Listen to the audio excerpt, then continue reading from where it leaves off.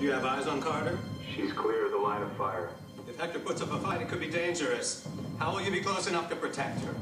Oh, I'm Pretty close. They got this place covered, right? absolutely.